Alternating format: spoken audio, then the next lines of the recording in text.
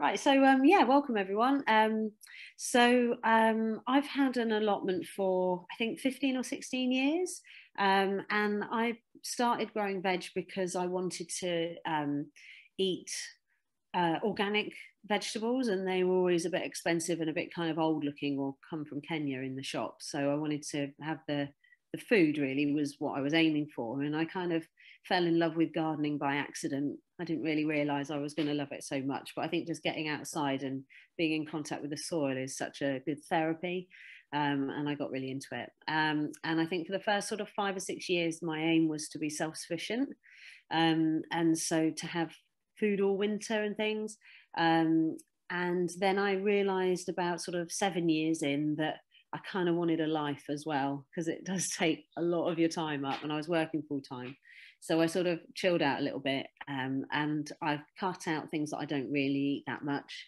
Um, and, you know, I'm not self-sufficient so much anymore you know we used to have chickens and things um, but i think it's always nice to have tried it and know how much work it is and then sort of um, fall back a little bit. Um, but yeah, basically, I'm doing these talks because um, we're part of an environmental group um, to help with climate change, and um, growing your food is possibly the best thing that you can do for your carbon footprint. Um, so it's it's between 44 and 57 percent apparently of the greenhouse global greenhouse gas emissions are from um, industrial food production so if you can um, shop locally and preferably even grow your own stuff, then you're doing a massive service to your carbon footprint. Um, and I also try and teach no dig method as well because that helps to lock carbon in the soil um, and it's really good for the microbes and the soil life and everything. So that's kind of where I'm coming from. Um, so just to do a bit of a recap, we've got um, uh, two kind of beginners and a beginner, all with allotments. And I'm not sure what um, everybody else has got. I think Vanessa and Andreas have a garden at the moment, but are going to have an allotment um, in the future. So Claire, if you and Emily, because and um, Brian and Rebecca, if you could um, raise your hand if you've got an allotment. You've got a reactions thing at the bottom here because I know you haven't got your, or you can unmute if you want to talk. Yeah. So one in the allotment. If you if, do you want to raise your hand if you've got a garden? Yeah, good, lovely. Please feel free to talk at any point. Um, the last talk that I did was all about the vegetables. Um, and we sort of quite seriously went through the whole time talking about the vegetables and how they grow and things like that. And I'd like this session to be a lot more about um, troubleshooting what you're actually doing now um, because it can be totally flexible. Um, the idea is just to be able to help with any problems that you're having um, or anything like that. So um, please feel free at any point to ask questions um, and things like that. So, I mean, I think I'll crack on and start um, with that question. Is there anything that you've got on your mind that you want to ask, first of all, before I start?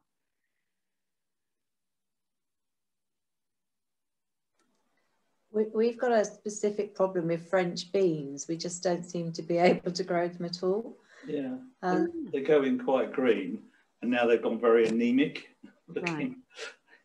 Right. Um, over the so, last probably two or three weeks, and we just can. And the same happened last year. They just we, we bring them on in the small greenhouse and then put them out, and they, they just kind of wilt away rather than um, actually develop into any green beans. I think you've probably got the same thing as I've been doing for years and putting them out too early. All right. Um, so um, French runner beans aren't quite as delicate. They're a little bit more um, okay with British weather. French beans are really quite tender. Um, and I always think of the beginning of May as a time when you should be able to put beans out. Um, and they always struggle for the first three weeks and then they eventually get going. Um, and this year I tried a sort of different trick um, in that if you get dwarf um, beans, they tend to crop sooner than climbing ones. So I've always done climbing ones before because I figure they're better use of space for the yield. So did you have climbing ones or dwarf? Dwarf. Dwarf ones. Dwarf. Ah, right, okay. And then, um, well, my idea was of just doing dwarf ones is when I plant climbing ones, they're underneath a beam frame that's already erected and I can't protect them at all. Whereas with dwarf beans, you can put a bit of horticultural fleece over the top. Oh, yeah, that's a fair point, yeah. Mm. So I think probably I, I did so I sowed my French dwarf beans around mid-April, planted them out first week, second week of May, and mm. then covered in fleece, and they were covered in fleece all of May. And I've just uncovered it the last few days, and I think that helps them to harden off as well when they go from polytunnel or greenhouse and then straight out into the cold. Mm. Having a bit of fleece over the top's really quite good to harden them off. Oh, okay, that's, that's, a, that's a good point. Yeah, and I sowed my climbing French beans at the same time as I planted out the dwarf ones. And then my climbing ones are about uh, six inches now. Um, and so I was I was going to plant them out last weekend. I didn't get around to it. So next weekend they'll go out, and it feels now that it's like a bit warmer, isn't it? It's sort of getting. May was so cold, Mm. um, and April really. It's, I think everything's behind this year. Yeah, we think everything's about a month behind. Yeah, yeah, I think it is. And um, last year I had fantastic spinach and cabbages, and this year they're pathetic. Um, yeah, it's very strange. Um, so, is there anything else anybody can think of?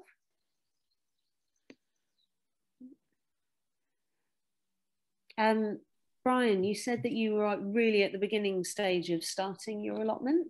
Yeah, yeah. We just uh, sorry, I was just finding the uh, unmute. So we we are literally right at the right at the beginning, having it. You know, maybe six weeks now in in managed to to dig out a whole bunch of weeds. So what can we actually plant right now um, that would that would grow technically? Have you got any um, anything growing as seedlings at all? So, Or yeah, we, we just put some parsnips in and some cauliflower, um, some onions, uh, which the dog happily dug up again, um, so Oh. they're, they're gone. Um, we've, we've got some existing raspberries, um, grapes, apple tree, Wow. Yeah. And we've got some purple sprout and broccoli. So, but I have no idea what to do with those. So the purple sprouting broccoli will probably be starting to go to seed now. and They're, they're, they're seedlings, sorry. Um, they're they're Ah, just right. they're, they're tiny, like maybe two Maybe- inches tall. We planted them in seed trays about two weeks ago, three weeks ago. Lovely.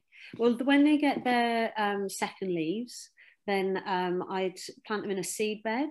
So if you've cleared a patch of ground, it's also really helpful if you haven't cleared everywhere yet to do a seed bed. So um, if you if you get a piece of hortic, uh, basically brassicas need to be protected from everything. Like everything eats them.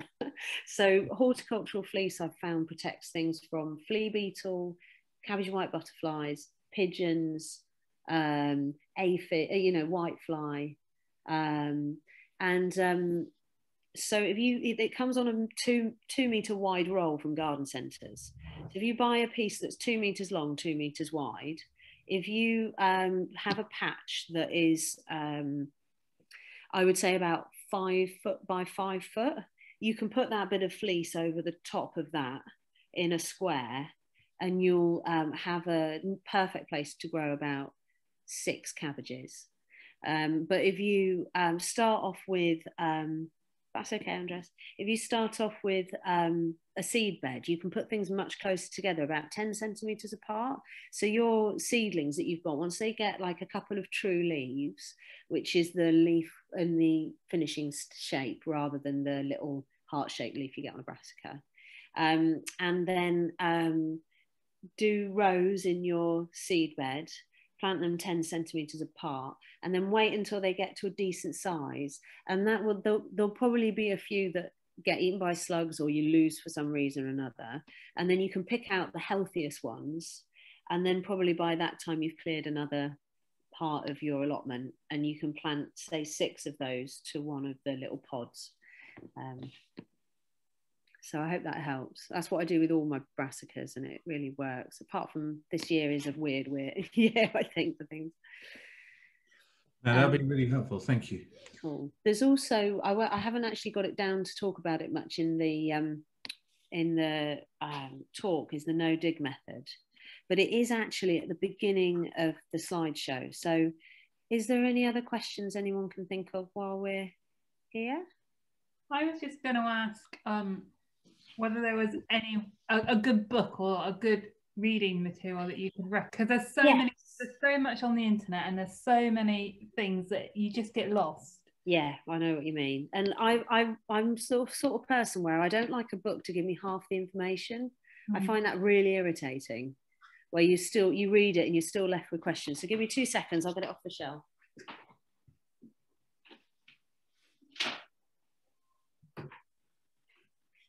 Uh, this is the first book that I read, Grow, Grow Your Own Vegetables by jo- Joy Larkcom. Um, and it's a bit of a kind of really dull looking book. Um, but it's got every vegetable separately in there. So you can look up that vegetable and it will tell you the planting distance, the time of year, the pests, everything that you need to know about that vegetable. Um, and um, it's um, really comprehensive re, re, uh, reference book. Um, but like the talks that i'm doing have also got notes online on ttw.org.uk so you can look at the notes that i've done for the time of year and that might help as well. Um, I've basically some of what I've done is actually just abbreviated Joy Larkcom Um, so rather being such a lot of text, it's kind of a little bit more condensed. Um, and um, you were asking about what other things that we can sow and plant now. I think we'll probably cover that in the talk as well. So, yeah, I'll get on then. Is that okay? Yeah, perfect. Thank you. Brilliant. Right. So, where are we then? Where's me? There we go.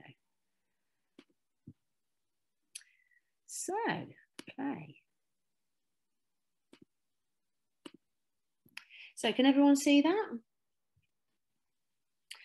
Um, so I've got uh, basically it's sort of in two sections really. I'd, I'd say what this you can see. Can you see my cursor there? Yeah, um, that one I would say is the sort of theory, and then this is all about vegetables. Um, I do quite like the theory, if I'm honest. so, um, it, is there any? I think if we start with a theory, it will actually really help um, Brian and Rebecca, starting with mulching. Um, so I just started with that's a picture of my allotment yesterday um, to give you an idea of the layout and things. So I've got um, five foot wide beds, um, and with the no dig method, the idea is that you don't stand on the soil. So having the five foot wide beds means that you can kneel on the path and lean in and reach the middle. If they're any wider, in fact, four foot wide would probably be better they're any wider than five foot, you'll be tempted to stand on the bed. So, although five foot is very good for having two rows of potatoes, it's just wide enough. Um, so, this is the south facing side. I've got a hedge, unfortunately, on the north facing side, which kind of shades out this bit. Um, but this bit of plastic here is my manure heap this year. And these little guys here are the pods that I was talking about for brassicas. Um, we have a little pod which has a few in.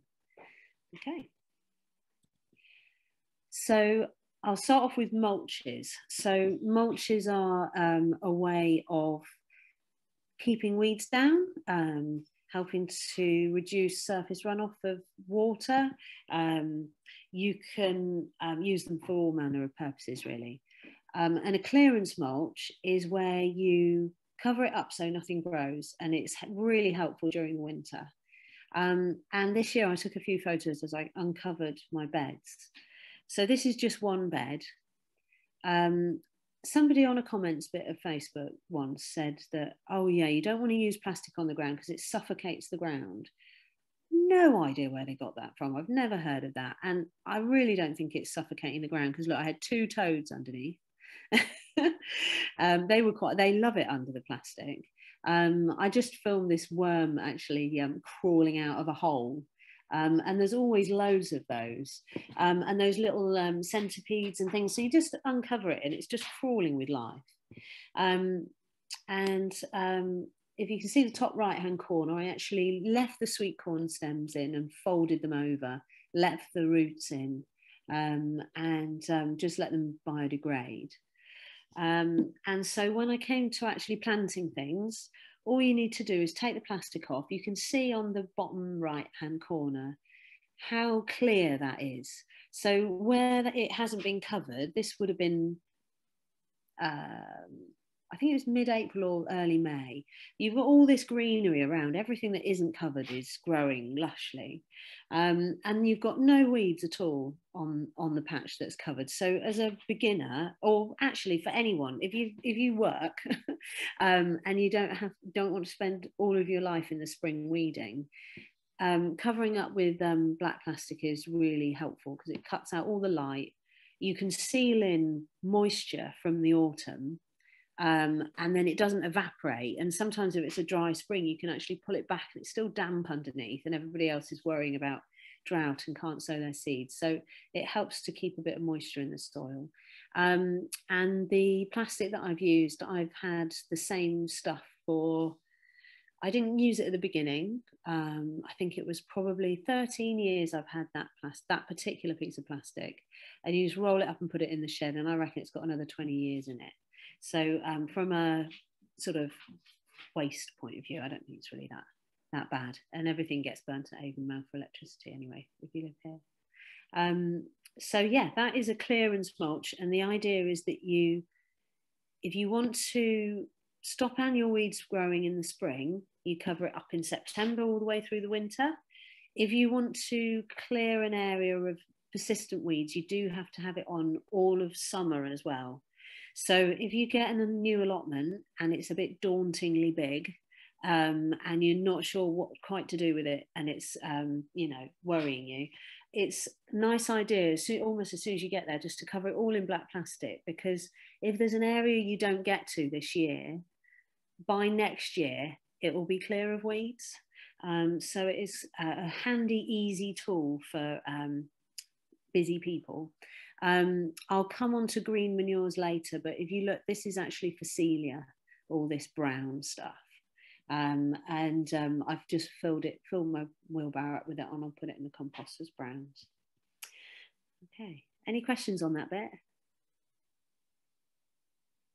No?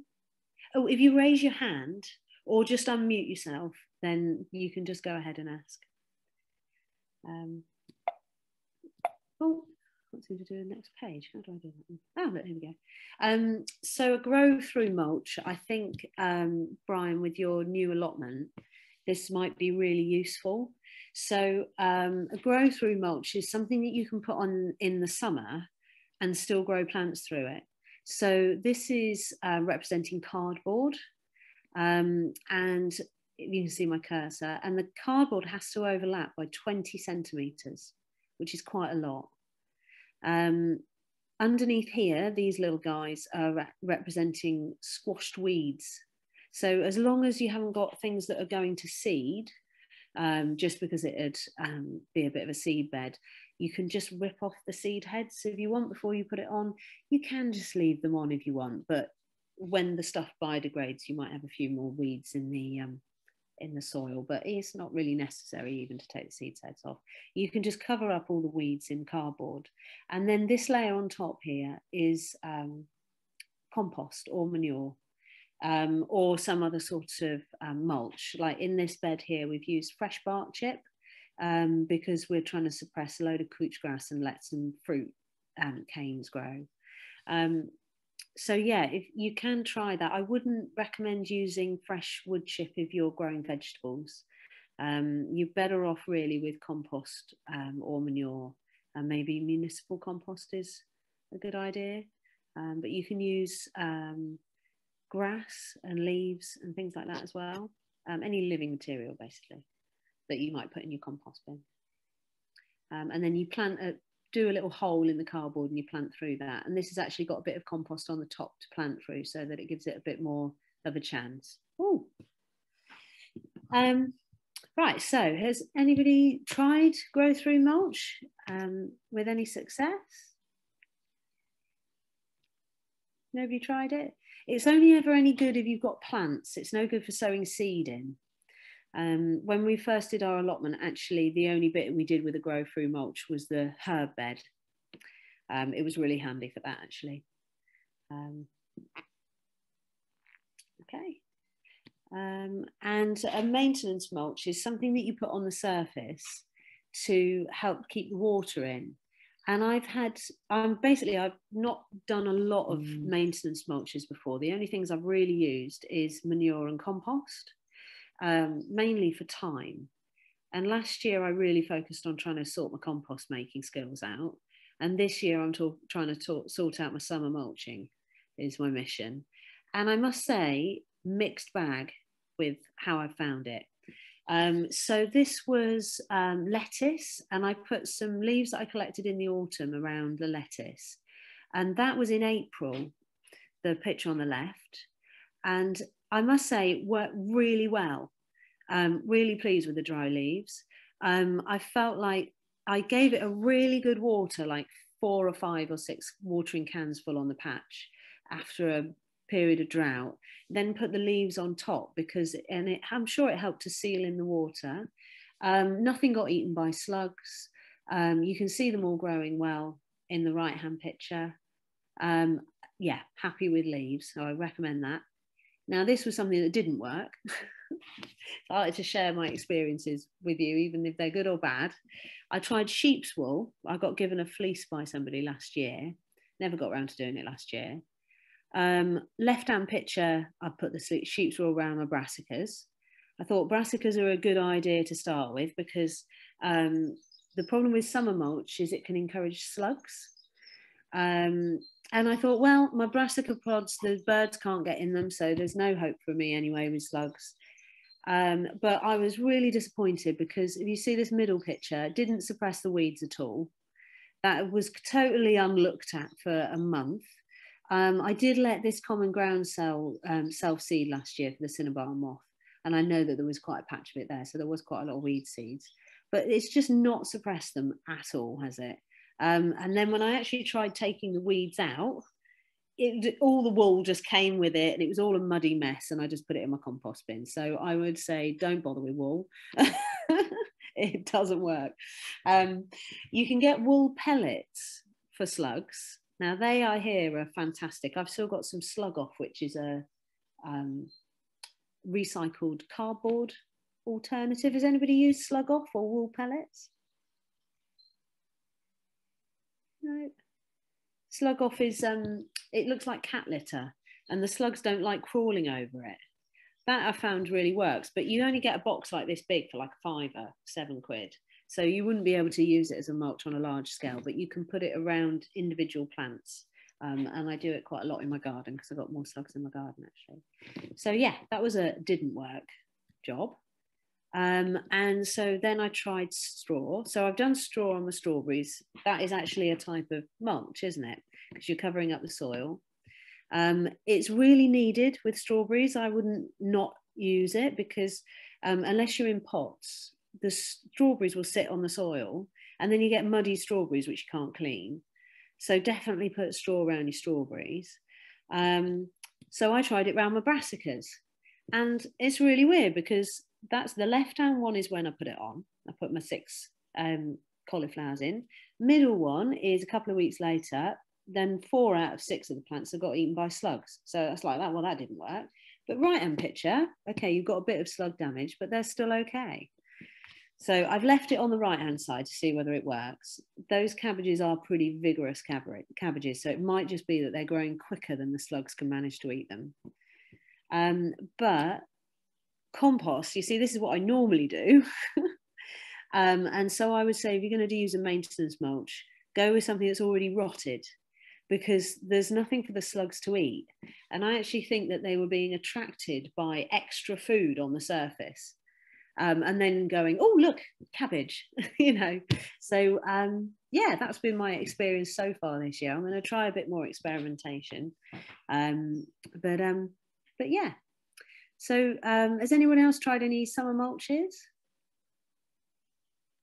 No? I know a lot of people use grass clippings, um, but I tend to put it in my compost.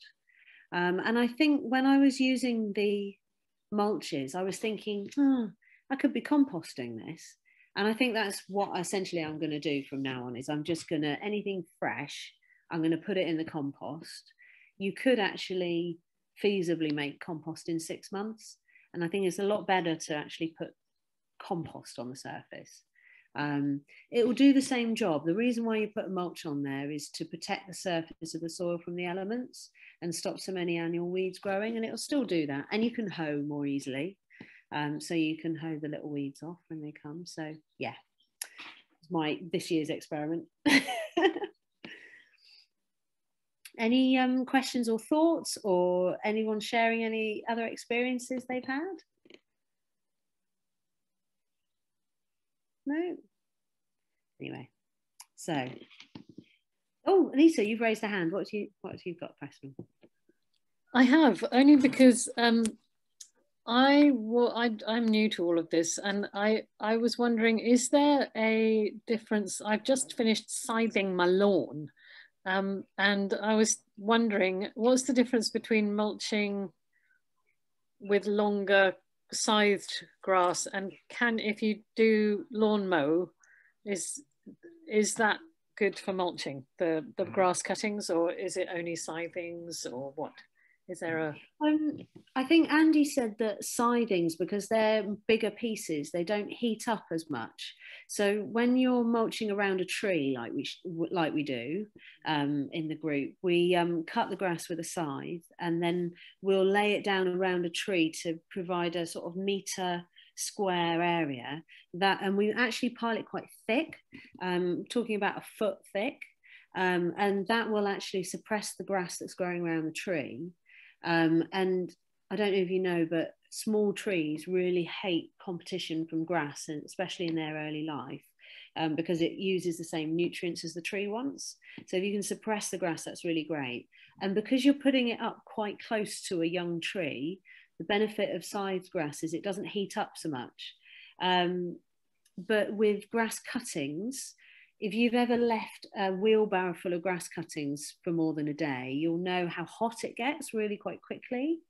Um, when I cut my grass with a lawnmower, which I do on all of the grassy paths in the allotment, um, we use that in our compost bins, in the Dalek compost bins, um, you know, the black plastic things.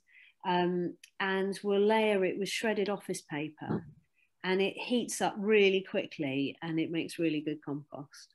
So I'd, I'd probably save my grass clippings for compost bin a bit more. And because it's fresh, you might be encouraging the slugs as well.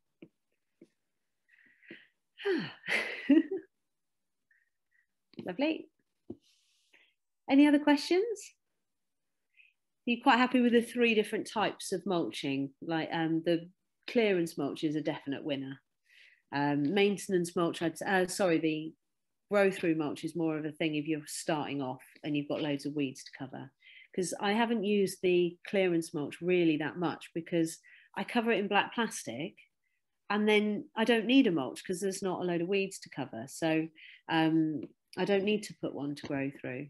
Um, so that's why I haven't really used that since much since I've started. So yeah, no digging isn't you know, it's just the absence of digging for the sake of it.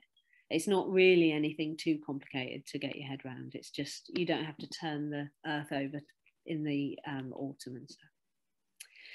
Okay, you can still dig weeds out if you want to. Um, there's no harm in that. Um, okay, so um, making compost. Um, so this I actually covered in the last um, talk that I did. So save repeating myself. Has anybody managed to make any compost this year or started?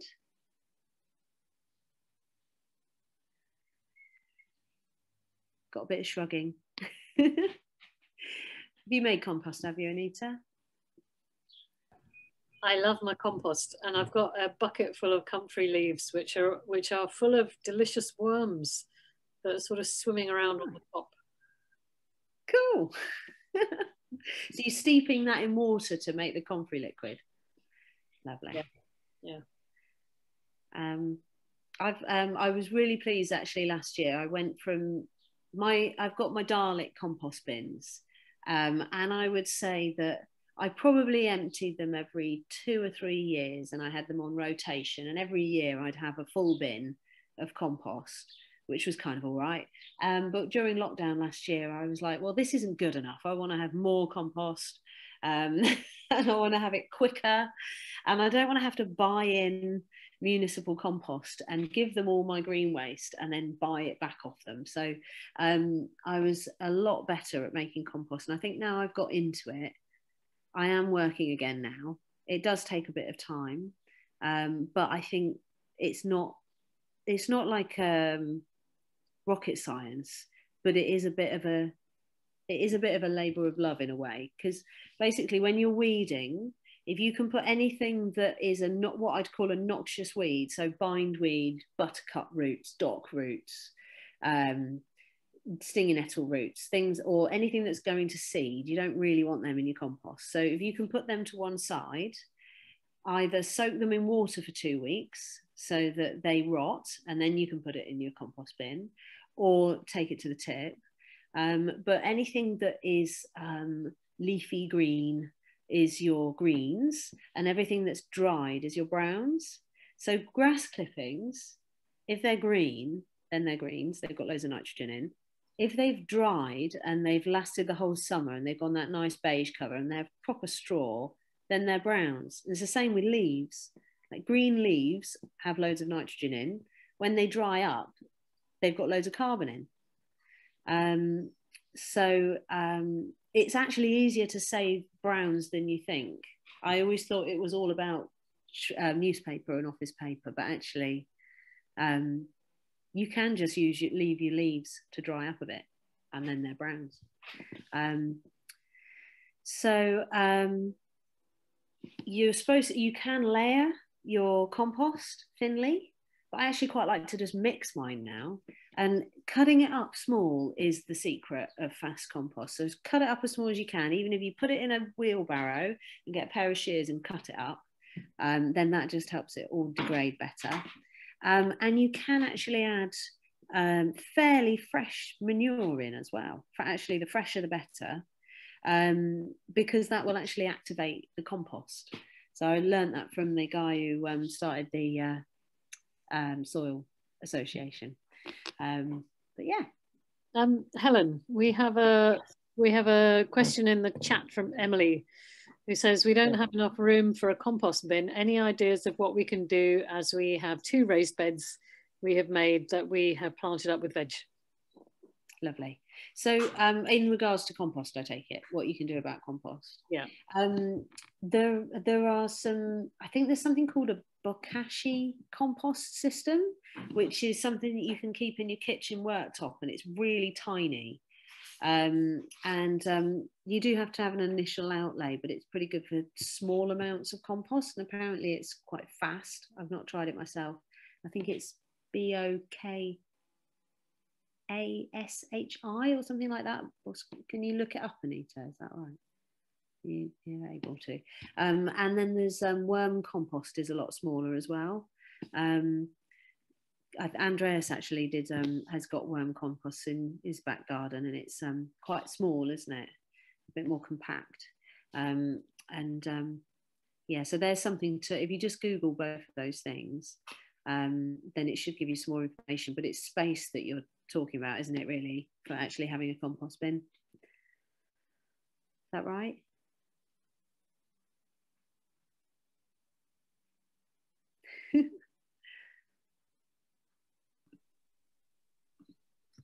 I can't see my chat actually at the moment. Ooh. Is that is that okay for an answer? Because I mean, it does take up a bit of space having a one of those black Daleks. I I did actually have one in my back garden, and then I removed it because I wanted the space for planting things.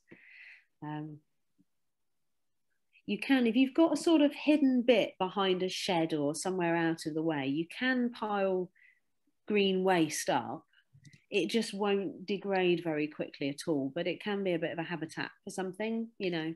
Um, so uh, your sort of seed heads and things like that.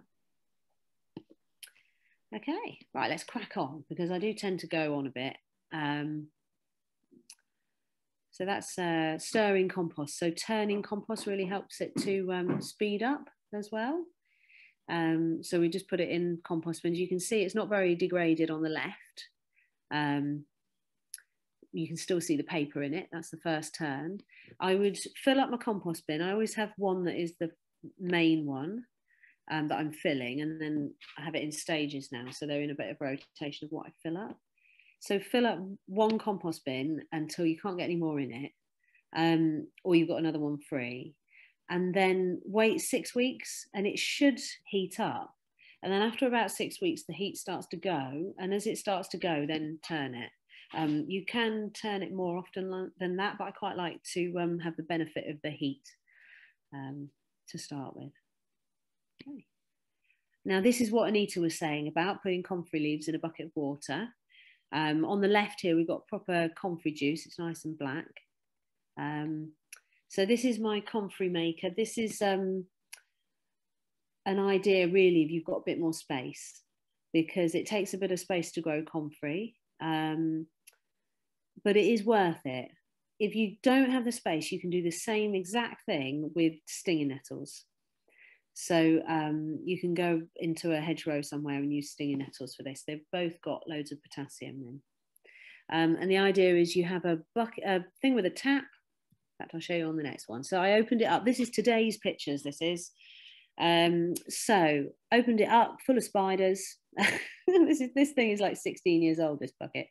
So I've got something heavy on there. The thing with the handle on the left hand side here. That is a bucket with stones in it and a lot of spiders. This is what I put in there a few weeks ago. It's all broke, you know, started to rot. Ooh.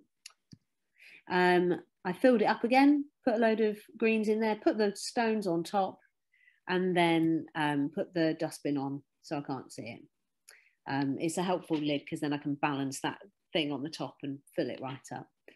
Um, and then when I want some of the black liquid, I just use a little tap and it's really great. You do it 20 to 1 with water for fertilizing your tomatoes and anything that flowers actually. Um, so, um, talking about growing comfrey, has any, I just copied these notes from the notes that are online because again it's something that i'm trying to get better at this year and i wanted to have them in front of me so i didn't forget things. Um, but does anyone actually have space to do green manures? Because there's not much talk me point me talking about it if you haven't actually got enough space to dedicate to a green manure patch. Um, we, we've got plenty of space but we're we're far too uh, novice like to even consider it this year um, but we we'd love to learn about it, but perhaps not not at this time. Okay. Well, I think the um, main thing for a beginner is like if anybody offers you bocking 14, I'll wave my curse around it. If anybody offers you bocking 14 comfrey, say yes. Um, because they grow really well from root cuttings. If somebody's having a clear out of their allotment, they might be digging some up. Um, and um, it's just bung them in a corner somewhere um, and that basically will be a nice little um, perennial um, green manure patch. But when it comes to when you have a patch of space empty after something's been harvested, if you haven't got something to put in it, um, then you can put a green manure in. And I've always just really simply stuck to Phacelia um, for all of the years before this. and this year I'm going to try and do something a bit more exciting. So I can let you know how it goes in September, maybe, um, even January next year. All right. Helen, can I ask a question about yeah. comfrey? Because um, I've got loads of it in my garden. Um, is it good to keep adding leaves and flowers and stuff to the um, bucket where it's all sort of decomposing, or or or do I? I don't know quite how to maintain it. Should I just keep cutting and putting it in, or? So I would say that you're going to want to use the stuff that you've got and have it on rotation. So if you've got um, a bucket um, that you did one time, I would then leave that for two weeks. Okay. And then start a fresh bucket next time you cut it, and then use the liquid that you have off the first bucket. Throw the stuff, the the gooey stuff, in your compost bin, and then start another bucket. Right. Um, you can also use comfrey leaves as a, um, summer mulch. Um, again, I don't know how badly it um, attracts slugs, but actually, the only time I have used it was years ago, and I found that it dried up really quickly. So the fact that it dries up, maybe it won't be so bad for slugs. Um, the Bocking 14 has got sterile seeds. So I wonder, Anita, whether you've got the one that um, spreads by seed, the wild type. I don't know. It's huge. Everywhere. If it's everywhere, just... Absolutely love it. Um, but it's like it's taller than I am now. Okay, and um, has it does it spread around your garden? Have you got any other places cropping up, or is it quite well contained? It's fairly well contained. Uh, no, it's it, it's quite vigorous. I mean, I do have to take it out to stop it spreading.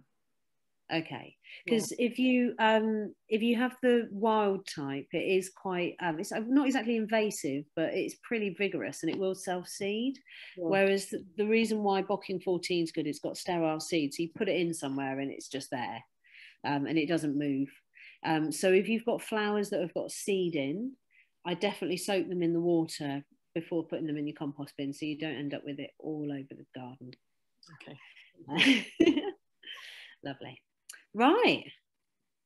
So this this is my excitement at the moment. All these pretty flowers. I'm just um, excited by this. I think it's really great every year if you can think of one new thing that you do. Um, I mean, I've kind of got two this year because I'm I'm trying to be good with my summer mulches, and that's been a bit of a disaster. But I'm going to um, I'm going to try also with green manures, but I haven't got any room at the moment. Um, I'm actually thinking about digging out a flower bed with um, lavender and roses and geraniums in and just putting green manure in it. um, so, um, yeah, I will let you know how I get on. Like I said, the only one that I've done before really is Phacelia. Um, it's really easy. It germinates quite late. You can put it in after your potatoes are out. Um, and it dies down completely over the winter. And if it doesn't die down, bottom right down here is the lovely flowers it has, which the bees love. So it's a if, if you're just going to take one green manure away in your head, then put Phacelia in there. Okay. So has anybody got any fruit trees they need to do anything with or bushes? Uh, yeah, we we have um, raspberries, apples, gooseberries, grapes, and some either blackcurrant or something. We're not quite sure what it is, but um, there's, there's, there's a bit of a choice there. yeah, that's great. So um, you've got apple, did you say? Hmm. Yeah, we've got a couple of apple trees. They're coxes.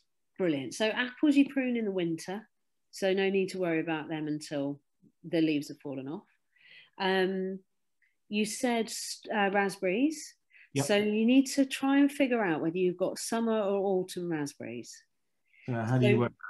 So um, when what do they look like? Are they um, really tall or kind of mid height at the moment? So so when, when we got it, it hadn't been they hadn't been cut back. So we cut anything that didn't have any leaves on. Um, it wasn't green. Basically, we cut back the canes. I, I believe the technical term for them is, um, and and then we were there. Well, some we, about two meters, yeah, about one. So some of those meter, meter and a half. And then when we were down there yesterday, um, we noticed that there's all sorts of new ones growing. Lovely. They're very, very green, green ones. It, it sounds to me if they were really tall and kind of arching, and some of them were really tall and some of them were medium tall. It sounds like you had summer raspberries. Okay. Um, the difference is you've got summer and autumn ones. Autumn ones, I tell you what, if you've cut them all back you'll know what you've got by autumn because if you don't get any fruit this year, you had summer raspberries.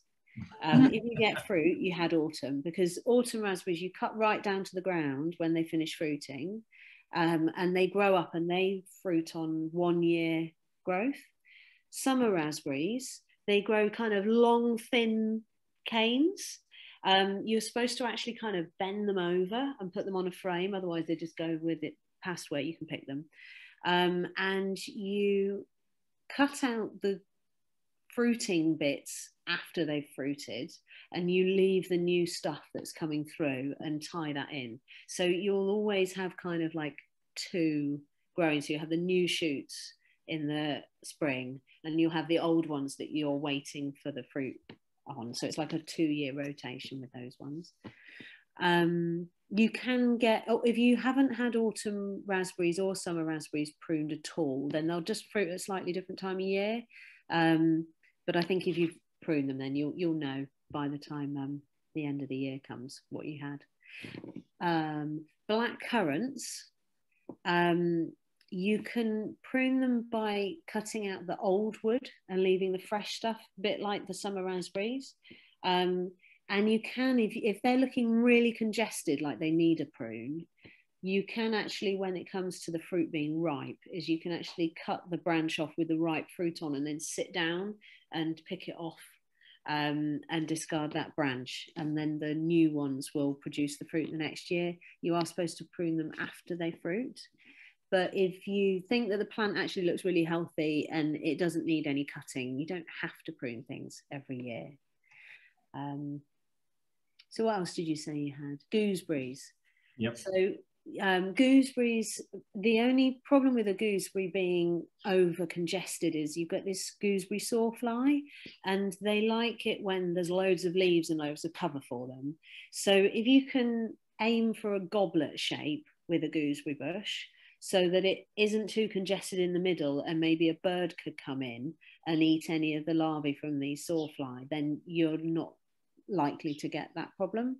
Um, so that's the aim for gooseberries. But again, I think I'd wait until after they fruit. They've probably got little tiny fruit on at the moment, haven't they? Um, yeah, they, have got very, very small. Mm. Um, but but again, you know, this is all stuff we've inherited, so it's it's kind of you know the blind leading the blind right now.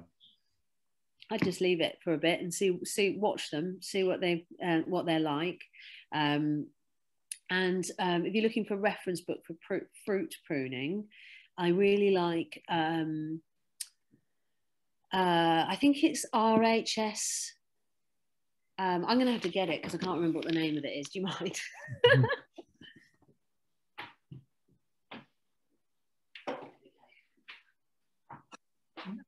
Encyclopedia of Gardening. There's various um, different um, versions of RHS books. Um, you tend to find them in charity shops.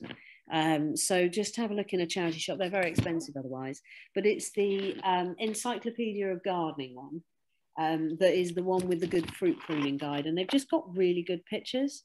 And it's quite nice having a book as a reference. Um, I find uh, that's actually the main reason I use that book over anything else. Um, it's a pretty good um, general reference book as well. Uh, was there any other fruit? Uh, hmm. Grapes.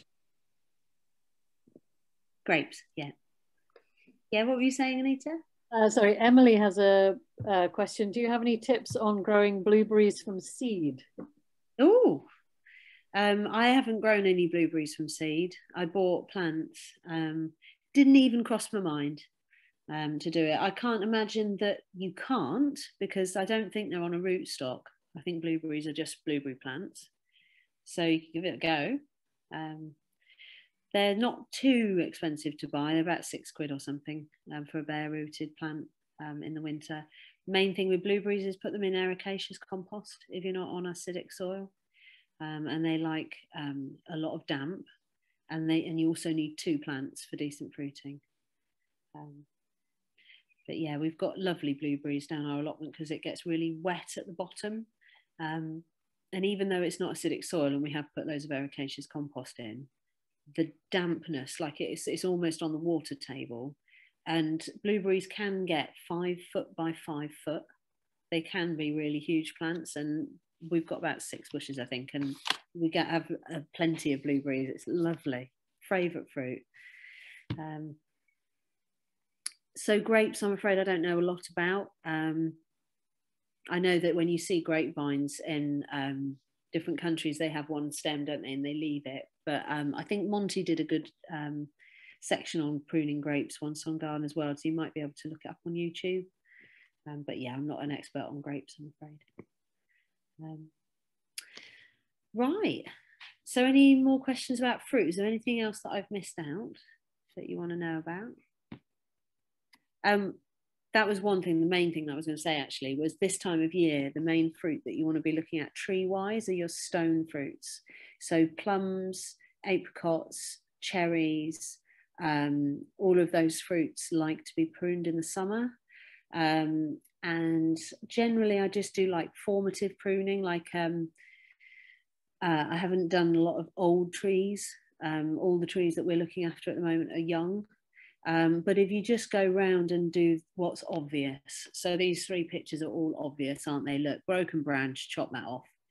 Um, these two are crossing, so choose your favourite and take the one of them off, cut it right back to this node at the beginning. I know I got my secateurs upside down. I was trying to take a photo on my own. It was a bit confusing. Um, and, um, you know, broken branches like this. And if you're either cut down to the node at the base, and that produce, um, prevents um, too much bacteria getting in, or if you're doing, um, doing it for shape, try and choose an up and out facing bud and cut just just above it because the little nodes and the buds and things have these antibacterial properties in. So if you have a great big bit of branch before a bud if bacteria gets in the top it's got all of that time to get strong before it gets to the antibacterial thing. If you cut it near the thing with the antibacterial stuff in it's le much less likely to take hold so yeah right so continuation, this is what um, we want to talk about, isn't it really? Um, so things you can sow now with good success. Um, now my slides are a mixture of pictures from my own allotment and pictures off the internet. And this is a picture off the internet, and that is because I don't grow Swedes. Um, I tried them once, they were all different shapes and sizes, and I discovered that I don't really eat, I, I don't think I've bought a Swede for years. So I thought, why am I why bother growing something you don't eat? Um, but Swedes are one root veg that you should plant. Well, ideally mid mid May, but being as our season's all completely skewy, then now. so this this would be a good thing to plant um, for your plot this year. Um, they get eaten by all of the normal cabbage munching predators. So um, putting it under horticultural fleece is a good idea. Um, and maybe if you're doing a couple of rows or, or three rows even, then you could do a slightly longer piece of horticultural fleece and do hoops um, along it. Um, and then it'd all get covered up. But yeah, that, that would be a good one to grow.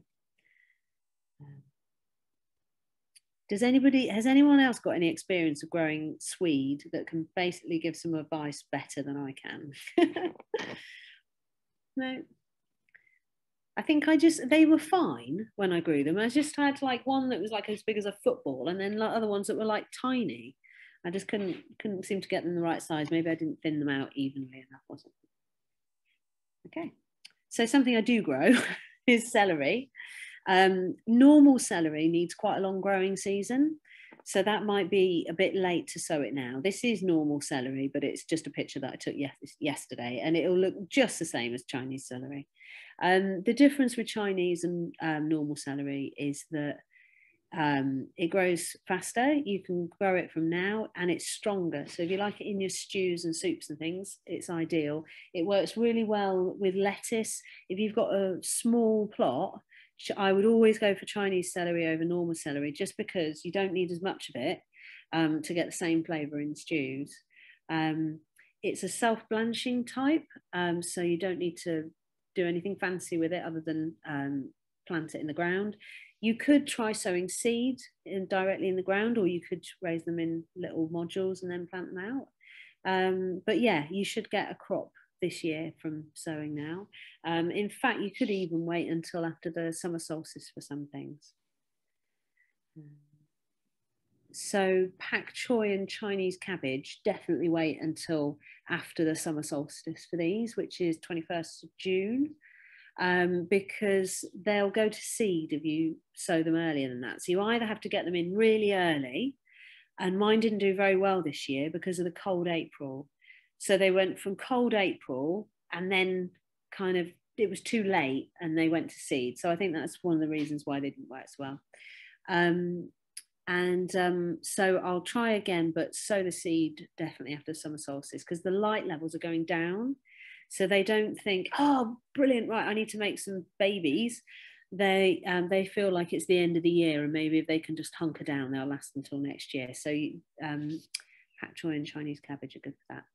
Slugs absolutely love them though, just to warn you. Absolutely love them. Chinese cabbage, especially. It's like the most delicious mixture of cabbage and lettuce for a slug. um, any questions on those Chinese vegetables at all?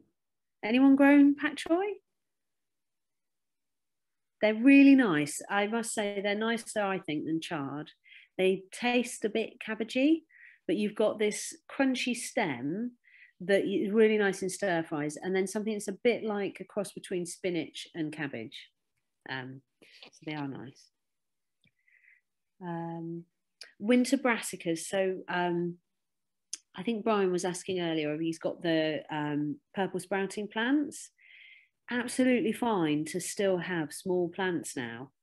Um, I think I've found that if you plant them after the beginning of July, if you sow them after the beginning of July, you probably won't get big plants.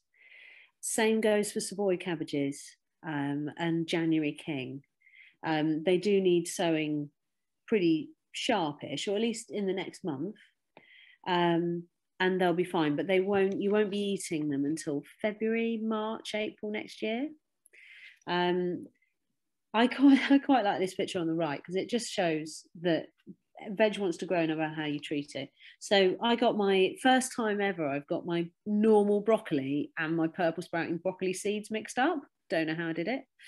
Um, and so I planted these um, purple sprouting too early, um, too close together, in the wrong place. I really didn't think they were purple sprouting, I thought they were broccoli, which um, grow quickly. They're really small plants, you can move them on. I did another patch with broccoli, which I thought was, you know, the other way around. Um, and that would have been nicely staked and everything. And so basically these poor things just just collapsed and grew into these long things. And look how much purple sprouting is on there. And they just i got loads harvested loads. It didn't matter that they were um, mistreated. So purple sprouting a really good one as well if you get attacked by pigeons and caterpillars in the summer. Because they if, if you end up by september with a manky looking plant that you don't think it's going to anything happen to give it a chance leave it in the ground and quite possibly by March, then you'll have some crop off it because the butterflies and um, things aren't as active in the winter. Um, you might want to put a bit of netting or fleece on to protect against the pigeons. If the pigeons are hungry in the winter, then they'll have it. Um, but yeah, purple sprouting is a pretty durable plant, I must say. Um, right, is that okay for winter brassicas? Yeah, what we do for time? Half seven.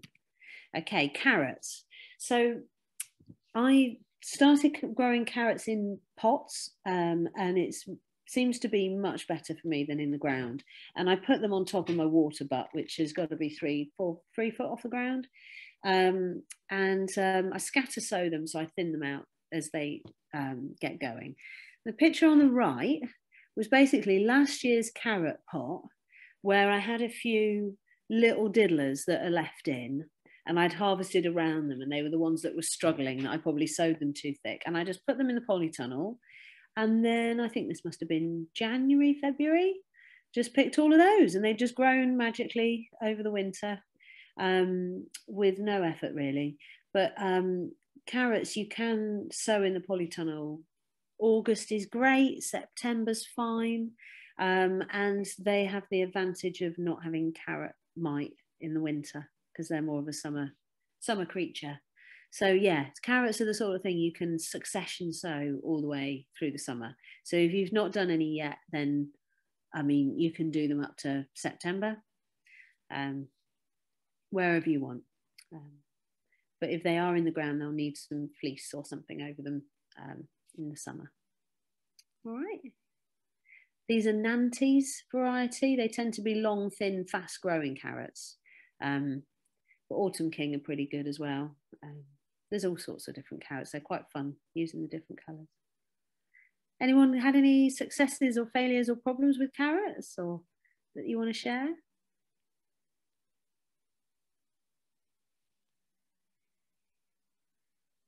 No? Cool, I'll move on then.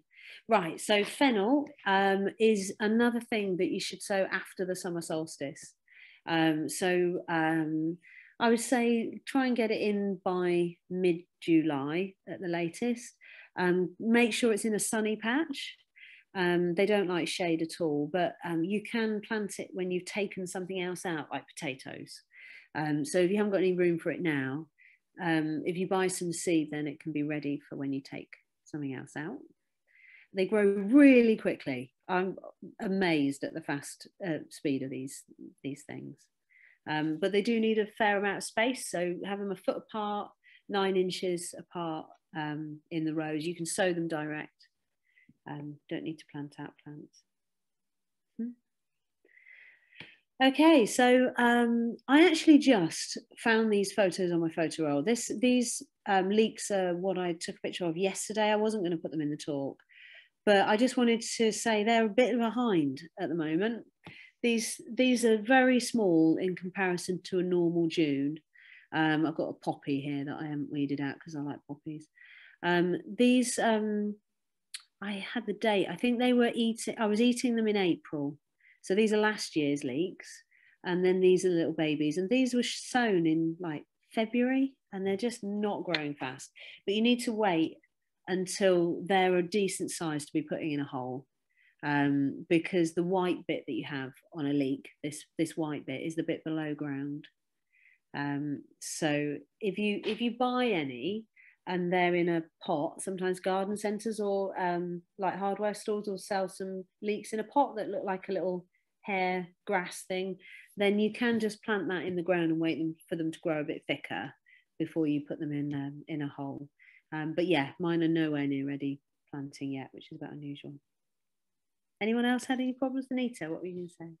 Um, Helen, sorry, can I just ask you about fennel? Yes. Uh, I've got loads of fennel in the garden, which I use the leaves of. But is it a completely different mm. fennel that you use the bulb of? Are they two different? No, it's um. Well, I mean, fennel, Florence fennel, you use the bulb for, but you can also use the leaves. And I didn't grow fennel for ages because um, um, dill and fennel will cross pollinate, and I grow dill, and I didn't want Dinnel, or is it Phil? Um, the um, cross-pollinated one because one of my neighbouring allotments did, and they were just loads of fronds, not really a bulb. You yeah. know, there's a cross, a halfway. So I like I like dill, so I wanted to keep my dill as dill. Um, and it suddenly occurred to me as well, you don't have to let your Florence fennel seed, do you? I mean, the idea is that you eat it as a bulb before it goes to seed. And this whole trick of planting it after July then gets around that. So I've started growing it now, but it'll be interesting, um, Anita, whether you've got um, just long term dill that's maybe just is it so you've never taken up the the root and is the, the same plant or is it self seeding? Um, I it might be perennial. I don't know whether it is perennial or not. It, it just comes back and back. I mean, I've never done anything to it. It just popping back. Yeah. I wonder whether it's actually a perennial plant. Yeah. here we go. Flor well, Florence fennel. Um, well, it might just be dill. Maybe it's just dill. well, dill's quite delicate. It's um, got like yellow flowers and it's quite sort of airy fairy, whereas um, fennel's a lot more kind of bushier and, and vigorous. So probably, you might have the cross because there was a guy um, on our allotment that said that there's this crazy fennel thing that grows, and it was cross pollinated between dill and fennel. Yeah, probably. So, yeah. It's all. It's all does gives the same flavouring for food though, and um, their uh, umbrellica flowers are great as uh, attracting beneficial insects that eat um, aphids and things. So um, it's either either. It's all good. okay. Right, so we've got a little bit of time now to talk about what we're harvesting now and what to do with it. Um, I noticed today my uh, potatoes have just started flowering. Um, you must wait until they're at least flowering before looking for any potatoes, but I tend to wait until they look a bit bigger and a bit tattier um, before I start rooting around. Um, but I did um, the one on the left, I've tried doing because I've been doing no dig for years, and I wrote read Charles Dowding's book, who's like the king of no dig, and then I joined a Facebook page like literally last year, and I realised that I wasn't um, what do you, I wasn't virtuous enough. I wasn't I wasn't being like um, purist enough, as it were. Um, and what I've always done is something Charles Darwin, uh, Dowding said um, is you can use a draw hoe to earth up because you're basically just moving mulch around. So that's what I've always done. But you can put mulch on and not dig at all. So I tried it with some, it's about three year rotted bark chip um, on this bed. It's to be honest, the potatoes don't look massively healthy, but you never know what's going to be underneath um, with the yield of the potatoes. So I'm going to have a look see. I've done a sort of a couple of beds. These are actually a different variety on the right, but on the the far right as well. Again, um, I've got the same variety as on the no dig one. So I'm going to have a look see what the uh, difference in yield is from pure no dig to the kind of half no dig that I'd obviously been doing um, before. Um, right. So yeah, ideally you want your potatoes to be flowering like this um, before you start looking for any. Um, and if you start seeing any black stuff on the leaves and it starts looking like they're dissolving, then take the tops off really quickly um, because that's a sign of blight. It's a very fast moving disease. Um, and if you cut them off at the stem where it comes out of the ground, then it won't affect the tubers. If you leave it and don't do anything to it, you might end up with blight in your tubers. But on the same hand, don't get overly scared if your potatoes start looking a bit rubbish and tatty and yellow and kind of dying, because that's just what they do. Um, so don't worry if they they start looking a bit tatty. Um, it's good to let some of that goodness go down into the tubers because it will just swell them a little bit more. So if it's if it's not changed over the course of like one or two days, it's probably not blight. Um, it's pretty noticeable to be honest. Um, so last year I tried completely not digging my potatoes to get them out and literally just rooting around with my hands. And in the polytunnel here, you can see I've laid out, this is just one bit of a row. Um, that is the stuff that I got out with my hands with not that much effort, to be honest. And I then went and dug over properly just to see what I had left. And I just had those left. So I was actually quite impressed. Um, and I did watch something recently about leaving potatoes in the same patch every year and just letting these ones that you miss come back. I'm not completely convinced by that, but it's quite interesting, which just goes to show you can grow, break all the rules, can't you? Um, but yeah, so is anybody growing potatoes? Yeah, they're the best thing, I think, aren't they? Fresh potatoes they taste much different, I think, to anything else. Anybody got any questions on potatoes at all? Any recipes that you want to share? No? Helen, I have a question, sorry, about potatoes. I always have um, manky little potatoes that I forget about in the bottom of my veg box under my cupboard in the kitchen, and they're sprouting massively. Is it, I, I feel really bad about throwing them away. Is it is it a stupid idea to just bung them in the ground now? Um, I mean, I think it is a little bit late now, just because they're more likely to get blight if they're in full leaf in August, um, because that's when the spores are more likely, and you tend to get quite a wet August. But at the same time, it's it's it's never worth you know a problem trying, is it? Um, I mean, the reason why you buy seed potatoes is apparently that they're virus free. But I know so many people that just grow potatoes from shop bought potatoes that, you know, it's not really, it's a minimal risk, I think, to just grow a shop bought potato. Um, somebody asked the same question actually on Facebook, and I think um, it is officially a bit late, but why not? You know.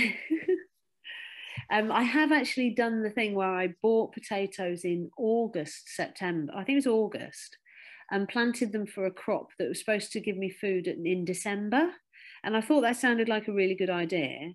But then I had to spray them like use this Bordeaux powder to try and prevent blight. It's apparently it's organic because it's sulfur out of a volcano. So it's because it's inorganic. It's not a chemical, but it just felt really wrong. I just I didn't feel comfortable with it at all.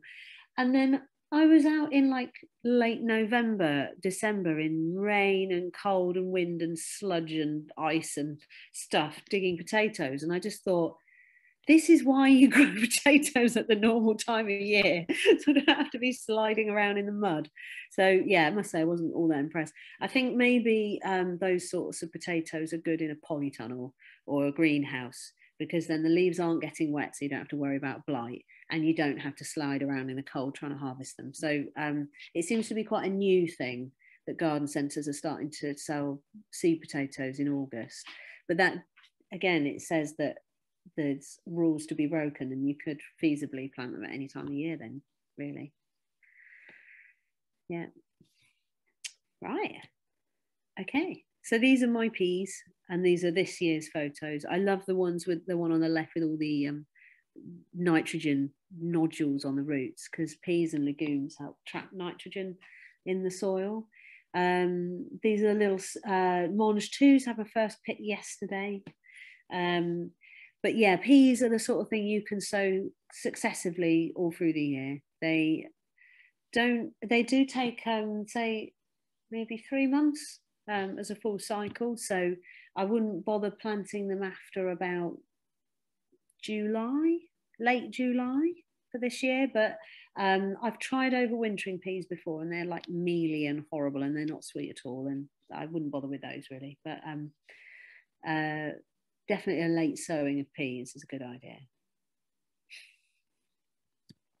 Uh, onions, I've actually see the internet pictures.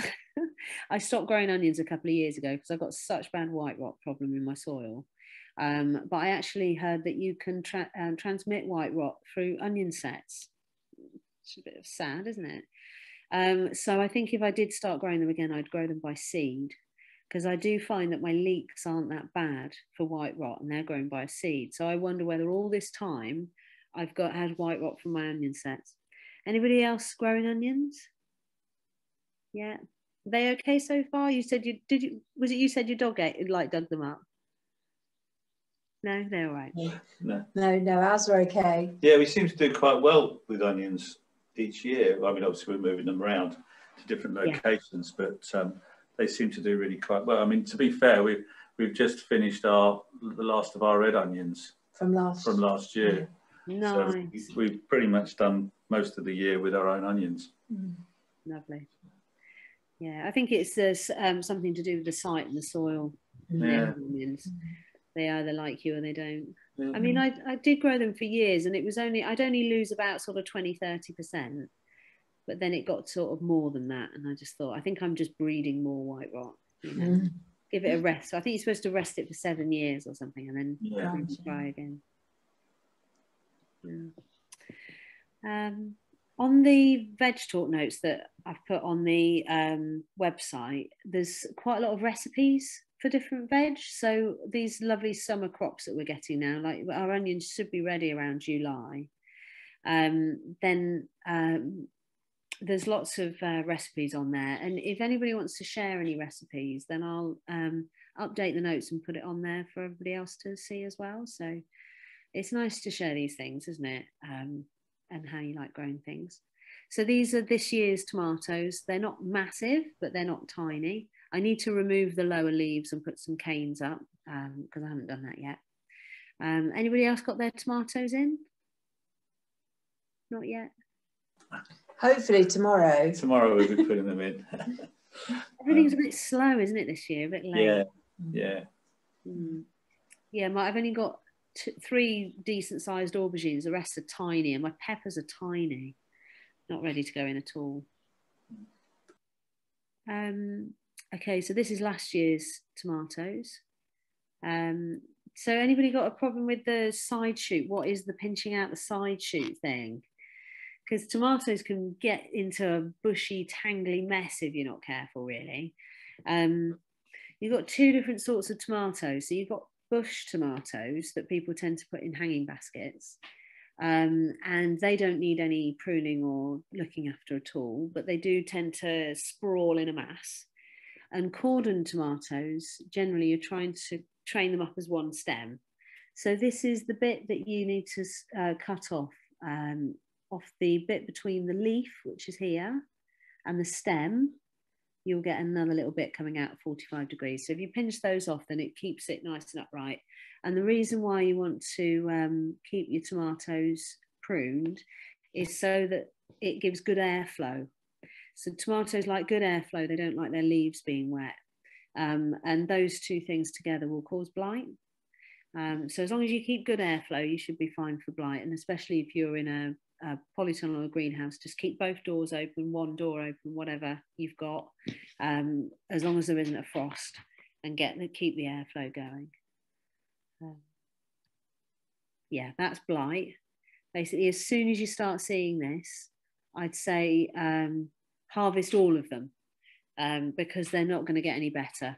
They're not. Um, it's only going to be downhill once you see one with this on um, then they'll be it'll be pretty quick and they go. So you can take the opportunity to make loads of um, green tomato chutney. Um, this was actually just when we were clearing out the poly, polytunnel quite late on last year. Um, you can cook green tomatoes like a vegetable and they hold their shape better. See in the right hand picture, you can still see the shape of the green tomatoes, whereas the red ones have just, or the orange ones have just disintegrated. Um, so yeah, um, don't be afraid to put them in curries um, as long as they're cooked. You don't have to just eat them in green tomato chutney. Okay, that's a really simple recipe. Um, just frying everything up together and put it. It's got the ingredients on the left. Um, so spinach. So on the left you've got last year's beautiful leaves, healthy plants this is one of the pickings of a massive pile in my sink, cutting out the little stem to freeze. This is this year's. I did exactly the same thing, and they just haven't worked. So you can see these little tiny plants that got planted out, I don't know, maybe a month ago, are just already going to seed. So yeah, very, very disappointing spinach this year, but I think it's just the weather. I can't see I've done anything different we, we, we've never been able to grow spinach successfully in the last um, couple of seasons. It's literally bolted. You, you think it looks great one day and the next day you've gone up and it's bolted and you can't use it. I think it might be another thing that's good to sow after the summer solstice. Mm-hmm. So I either sow it early, early, like February, which I did, but then I think April just messed everything up. And then May just, it didn't get a chance really. Um, and um, so I think I'll maybe have another go after the um, after the summer solstice and see if that will stop it bolting. Because in theory it should, shouldn't it? Because um, it's when the lights nights are getting longer and it's too dry that things bolt. Um, same with coriander as well. You always have your coriander bolts. Um, if it's kept in the shade a little bit more as well, it helps. Any questions on that? No way. What we doing? Oh, 10 minutes. Right. So uh, sweet corn. I think um, I think the way to gauge whether a sweet corn is ready is actually kind of by the weight of it. If you can kind of um, the black end should go black, um, and they should feel like plump and heavy. Um, you can peel back some of the outer and actually see whether the corns are, are yellow. Um, but yeah, it's quite hard to tell when a sweet corn is ripe. But um, they work really well in a garden because they look a bit like an ornamental grass. You see them there with those grasses. They just look really like they fit, don't they? Um, so I might shove some in my garden again. Really good as a sort of potage, I think. Um, anybody doing sweet corn this year? Yeah, I think water it if it gets really dry in the middle of the summer because they can kind of um, go to seed early when they're only like young plants and then you don't get as good harvest. So if it's a really dry spell and you can see that they're starting to maybe one of them started to get a bit of um, the frond of going to seed, then maybe give them a bit of water and it will make them a bit better. Uh, beans. So we talked about beans earlier, didn't we? About um, runners being a little bit more hardy than French. Um, they like generally like compost. If they keep looking yellow, it might be good to give them a bit more compost, maybe even a bit of lime. Um, so it could be the soil's too acidic. Make A bit of lime. Um, now, last year, um, this is the bean structure. I was actually hoping to get it up this year so I could show you proper pictures um, from the right way, but that's the only picture I could actually find. Um, but we do a, like a bean tunnel because um, the only thing with a bean structure is that so many people fall down in heavy in high winds. So if you've got high winds and then you've got really heavy beans on something that hasn't got an A frame or isn't tethered to something, it quite often fall over. And we actually have started doing a tunnel over, over one of the paths, so on the edge of two beds. And we put the canes, so we have two that way, one over the top, and then we brace it. You can see the bracing one's easy because it's from the side. We brace it like that from the sides, and we also cross over braces on the top and tie it with string. And we haven't had it fall down since. And it is, um, we've got quicker and quicker at doing it. So we can do that in about an hour and a half, maybe an hour now, um, and do 10 each side. Um, so yeah, just thought I'd show you that as a something that we found works. Mm. Anybody growing beans? Most people. Beans are pretty mainstay, aren't they? Um, I I, um, I tried freezing beans one year and it ruins the flavour. Has anybody else tried that? Hmm. Yeah, definitely recommend drying them. You can either let them dry on the pod like these have, or you can take them out a bit fresher and actually leave them on a piece of blotting paper on the side. So pumpkins will last um, in a cool, dry place for ages stored. Um, I like baby bears, which are like small pumpkins like this. These are what I grew last year and I wasn't really all that keen. Um, they always seem to get mildew. This is mildew. Don't worry about it. it does it if you haven't watered them enough but you'll still get pumpkins. Um, they're pretty easy plants actually. My plants are still quite little, so if you haven't started yet, then pumpkins are still something that you could do. You can maybe buy a plant from the shops um, if you haven't grown it from seed. Any questions going on?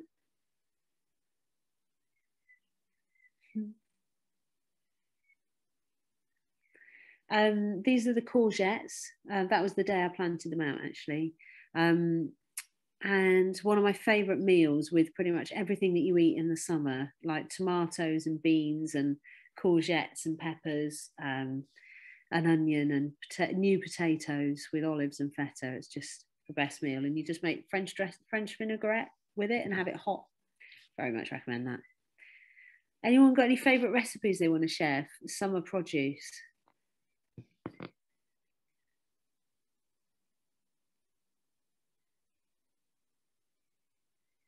You think of anything if I put you on the spot?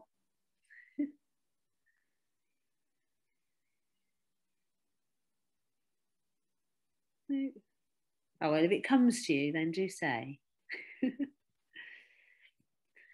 I love courgettes. I do grow a lot of them. Um, I grow like seven plants or six or seven plants um, in the thought that one probably will die at some point. There always seems to be one. Um, but they are big plants. You see, this is in my garden, how big the leaves are actually. Um, and it's taking up about a metre. Um, so really, if you're not an absolute courgette fan like I am, then one or two plants is fine for a family. Um, so um, I just I like picking them small when they're like no more than sort of um, six inches. And uh, yeah, love them. Can't get enough courgettes. So. Claire's recommended courgette chocolate cake, a bit like, I guess, uh, carrot cake, but courgettes. Nice. Sounds, good. Yeah, I've um, tried beetroot chocolate cake. Was pretty good, but I've not tried courgette. My mum makes a courgette and walnut loaf that almost is healthy. Definitely the healthiest kind of cake. um, um, yeah. Emily's also asking about squashes. Are you going yes. to squashes? Squashes, yeah, squashes and courgettes are kind of the same thing. What what would you like to know about them? Uh, Emily is asking that she we tried some squashes this year and none of our seeds have come up. Any tips? Yeah, I think it's just been a really weird year. My mum had exactly the same thing. Um, I didn't plant, I didn't sow mine until mid May, so it's a couple of weeks ago, and they all came up. Um, so, I mean, you might want to just try sowing some more, and it's just warmer now. So, I think think if a seed sits there for too long, being too cold, it will just rot. And so many of these things, like beans and um, peas, and well, not so much peas, but um, beans and squash and courgettes and cucumbers and peppers and everything, um, they need a certain amount of heat to germinate. And if they didn't get that in April and May, which it wasn't warm at all, um, then they might just have rotted. Um, so yeah, just get either get some more seed or buy a, a couple of plants. Um, give it another go. There's always uh, every year if you grow a variety of things, there's always things that work really well and things that don't work well. Um, Is there any anything else that anybody's stuck on or um, is just wondering about? Because this is um, your chance really to um, hope. I mean, there's a few of us here as well with different experiences, so maybe we can help each other if I don't know the answer. I'll share. Can I share a recipe? Yeah.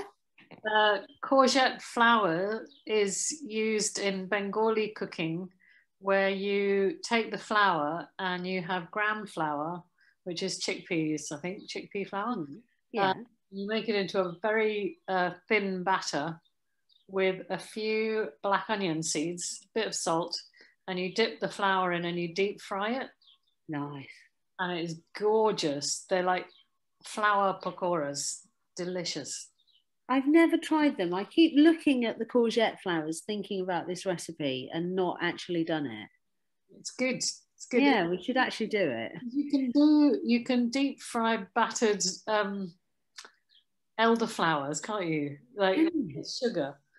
You can do these really amazing, um, and basically deep fry anything with sugar. It's going to be nice.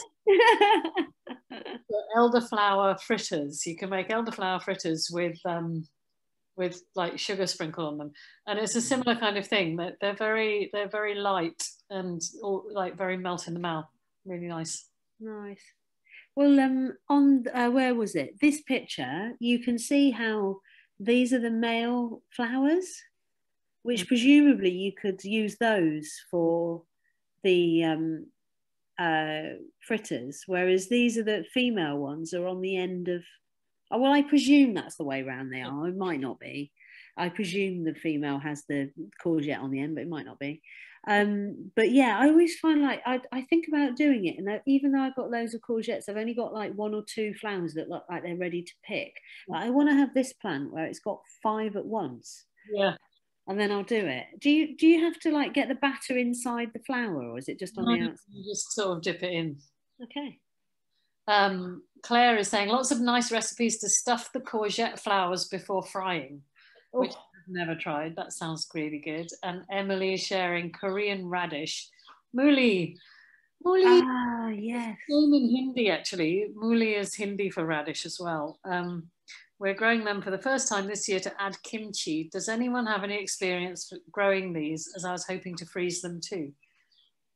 Nice. I um I've grown um, parsnip rooted parsley before. I've had root of parsley, but I've never grown the mooli radish. I think I bought the seed once and didn't sow it or something. So yeah, no, I haven't actually tried it. It's good in Chinese stir fries, isn't it? Mooli's just good. Yeah. Stop. Yeah, have you had them then? Yeah, I mean, in India, when I lived in India, that was radish. I mean, you just had a big big white, like it looks just looks like a, a, a huge white carrot. Um, so the idea of these little pathetic small pinky things that you call radish over here, they're just like, ah, that's not a radish. um, Lovely. You just, you just uh, uh, chop them, peel them, and chop them really fine with, and squeeze lemon and lime on them, uh, lemon and salt. And Nice. So you don't cook them necessarily? No. No, okay. I wouldn't cook really. No, because um, I was reading about fodder radishes today, and there's one called down downy or something with a D, and you can use it as both fodder radish for improving your soil, and you can eat it. I don't know whether it's quite as palatable as the mooli one. Yeah. Um, I'd imagine that if they've got one that's a bit more famous for eating, then it's probably better. Yeah. But I mean, radish grow like really quickly, don't they? So presumably, um, it's a good, easy crop. Yeah. Um, so um, cabbage. This is last year's cabbage, which is obviously working. I was actually looking at my notes, and mid mid to late May, I'm eating cauliflowers and ca- cabbages last year. And this year, uh, my ca- my cauliflowers, even the ones that weren't in the wool or the straw, the ones in the other bit, are still this big. They haven't grown at all. It's ridiculous. Um, but anyway, if you do get to the point where you've eaten some of your cabbages and not others, you can put new ones in from a seed bed as long as you put some mulch on the surface. And you can see this dark is actually a, um, a layer of compost. Um, and I love actually just raw cabbage off the chopping board. I think it's really sweet and spicy. Um, so yeah, and obviously coleslaw, but there's so many recipes for coleslaw. Um, I, I had a really nice one that I've been doing, which is um, mustard seed, turmeric, um, fresh chili, no onion, um, just carrot and cabbage, and then putting some um, sour cream on at the end. It's lovely. Um, it's in the river. It's a Riverford recipe, so you can look it up um, on their website. Um, yeah, there's so many different ways of doing coleslaw. So many interesting coleslaws. Uh, so what else we got? We got broccoli. I mean, broccoli is just broccoli, isn't it? You eat it, and same as lettuce. So this is my lettuce now. I've got a mixed pack, and I noticed some of them are hearting up. So I'm actually cutting the ones round that are sort of squished in here. I'm using as um, cut and come again, and just getting the outer leaves. And I was doing that with all of them to start with. But now some of these ones, like Webb's Wonderful here, I'm just going to leave that to heart up. Um, yeah, love, love a bit of lettuce. Turnip, don't grow turnip, don't like them. Grew them once and ended up giving them to my friend who has pigs. So I really don't like turnips. but they grow like radishes. They're so easy and you don't need to net them or fleece them or protect them from caterpillars or pigeons because they don't like them either. but if you like turnips, then they are so easy to grow. Highly recommend growing them for a beginner. Um, so yeah, my beetroot is really strange. Some of it, like I've sowed all this at once, and I have half, like those two rows, and this is like two weeks later, growing like wildfire. Not too bad actually growth on the other ones, but how weird is that patchy row there? Did I have a slug just coming all the way from the other side and just getting that far along the row? I don't know. Oh, but yeah, beetroot are lovely. They're pretty easy. I love the way the little seedlings have these little red bit in the middle. Um, kohlrabi again, don't really like kohlrabi. I thought these interesting, um, these pictures were interesting off the internet where you had this one, which is showing obviously cracked dry soil, but huge kohlrabi. Who knows if that's got um, artificial fertilizers on or not? But this this person's mulched it with straw. Bit of a smaller one, but I think the caption was something like something like this is what it looks like so far. So I expect they're probably leaving it to grow. But um, yeah, I thought that was quite interesting seeing um, mulches on uh, on the interweb. Um, and garlic, same reason as I'm not growing onions um, anymore because of white rot. Garlic was so disappointing. They would just come out and they'd just be falling apart with white rot. So I've given up with those. Um, but is there anybody? I think that is the end of, um, oh, apart from fruit, that's the end of the vegetables that I was going to talk about. So has anybody got any more vegetables they want to discuss or recipes or anything like that? Or are we all getting a bit tired now? It's eight o'clock. Could we just ask you about rust on onions and garlic? Yeah. Yeah, I mean it's an airborne um, thing, and same as mildew. I think you get rust a bit more when it's dry, and mildew a bit more when it's wet. You are supposed to take the leaves off that get affected by rust. Um, I I've found in the past it's a bit of a losing battle because if it's in the air and it's the right conditions, then another leaf will just get it. Um, I haven't found that it's been a major issue um, in previous years. There was 2012 was a really bad year for mildew when it didn't stop raining all year. That was like they all just dissolved, and I was thinking, God, if it's going to be like this every year, I'll have to build them a cover so they don't get so wet. But um, I wouldn't say rust has been a massive problem. It might help to water them if it's really dry. Um, I think, um, yeah, you you can um, with onions and things. I was still get when I did grow them, I was still getting a harvest, and it was really the white rot. Out of the three things, which was the rust, the mildew, and the white rot, I got all three, but it was the white rot that was the real problem, mm-hmm. and the rust and the mildew were just kind of a bit like mm, they might have been a bit smaller because of that. Oh, yeah, yeah, that's, that's it, really smaller. Yeah. Mm. Um, I think as well when you're on an allotment, it's difficult um, with airborne things because you might be able to control your bit, but if your neighbour hasn't controlled their bit, then it's um, it's yeah. difficult. We've noticed a bit of rust elsewhere. Yeah, yeah, yeah. Yeah, you get it a bit on leeks as well. Um, mm-hmm. But yeah, and it, sometimes it affects one plant a lot, and then it doesn't affect the one next to it at all. Mm. Yeah. We, we muddled up our leeks and our seed onions this yeah. year, so we don't know what we planted where. so you do seed onions? Well, we've never done them before, but we've tried. Yeah, whether the, whether the, the shallots, these sort of banana yeah. shallots. Yeah. Um, so um, they, they look. I, I, think I know they, which ones they are now because they're looking a lot healthier than the uh, than the leeks. Um, but yeah, we they look in the pots, and I, I mixed up the labels, and well, I think one didn't have a label, and I just assumed they're all leeks because I forgot that I'd planted shit onions. So, so easily done, isn't it? Yeah. Mm. So we'll see how we go on with those. Yeah. But they seem they look they they they seem in good condition. They seem to have worked. So yeah. Yeah. So.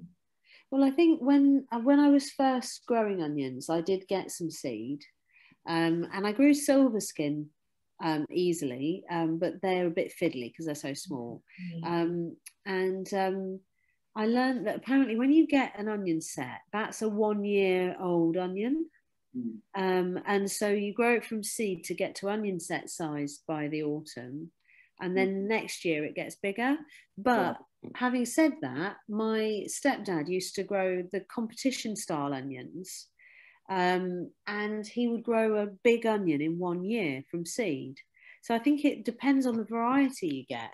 Because yeah. um, I think it's Ginster's pasties grow these huge onions, like because they just want them industrial for sort of chopping up into pasties. So they're not for sale, but they're they're huge onions. And um, I think it might have been a seed a bit like that that they were growing in this competition. He had a competition with a farmer friend of his of who could grow the biggest onion. And I think the farmer guy had a Ginster's pasty onion variety. and uh, yeah. So yeah, I, I think they are probably something that could be grown in one year. if You mm. get the right seed. And I don't know about shallots. Presumably they might be a one year thing as well. But you put one shallot in, don't you? And then you get loads. Yeah, that's right. Yeah, when we yes, we we, we bought shallot sets and yeah, they're kind of like um, octopuses coming out of the ground pretty much. Yeah. And, yeah, they're, they're, they're, interesting. They're quite quite funny to, to yeah. So you might find that if you put grow one shallot from seed this year, then if you plant that, then you'll get a bunch of shallots next year, perhaps. Maybe, yeah, yeah. Although these are banana shallots, so they they're kind of just like one, ah. one on their own that we're that we're growing. So we'll see how they come this there's so many different types of everything, isn't there? Like um, there are perennial leeks and um, perennial onions you can get. Mm. The the choice is amazing when you actually start researching it. And um, yeah, and apparently uh, elephant garlic is actually a type of leek or something.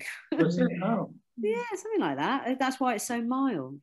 Right. So it's all just sort of allium family and, and such a lot of variety in it. Um, yeah, really interesting. Hmm. Lovely. Right, so um, that's just on the right there. There's a picture of how I open freeze fruit. I use a lot, most of the fruit that I eat is for having with my porridge. Um, and my husband has it with his muesli. And if we can go all year with the going from frozen fruit until the first strawberries come, then I feel like I'm winning. Um, I did it the year before last. I didn't do it last year. I ran I think mainly because my husband was started eating them as well. So it was like it was all right for one. But then when he started eating them, it didn't didn't quite stretch. But I'm so looking forward to when strawberries are coming, and they're late. These are these are my strawberries. They're still nowhere near. Um, but yeah, cherries I tend to do um, as cherry sauce with duck.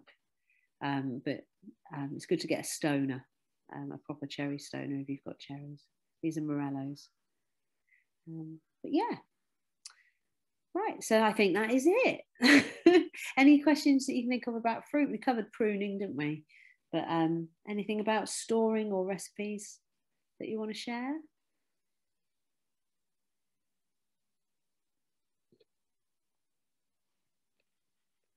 I will stop sharing my uh, screen. Oh.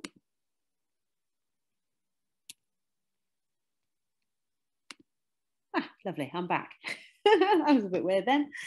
Lovely. So um, I hope that was all right for everyone. We're sort of trying to cover what was, thank you, what was relevant for this time of year. Um, so yeah, if you want to catch up on planting, spacing and all the rest of it and protection, then that will be the April talk. But I'm going to do another one of these in September um, to cover some of the fruit and veg that we didn't talk about um, now that we might be harvesting by then. Um, and also uh, doing garlic for overwintering, um, broad beans, uh, things like that that we can um, have over the winter. And I'll go back to the theory again um, as well. So um, a little bit more on the no dig method and actually planning your rotation on your plot and things like that. So um, if you'd like to join us, then you're more than welcome. Okay, lovely. Thanks, everyone. Thank you, Thanks, Thank everyone. you very much. Thank That's you. all right. Lovely. Thank you. I hope it's been of help. It's been really helpful. Thank you.